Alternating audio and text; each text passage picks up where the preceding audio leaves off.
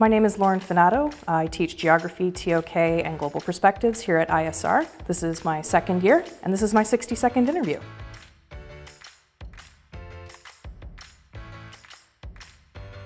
My favorite movie at the moment is probably Deadpool, but pretty much anything Marvel is a great film. Least favorite subject at school was math. My biggest fear is like falling or, you know, falling from a big height.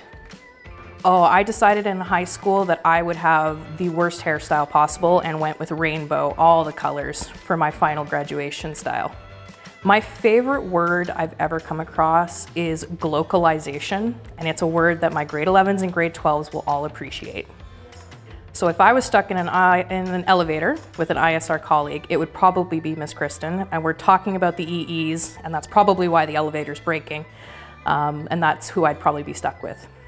If I could have any superpower to have the power of flight or teleportation, so I could be wherever I want to be in an instant. Extra sleeping in also a bonus.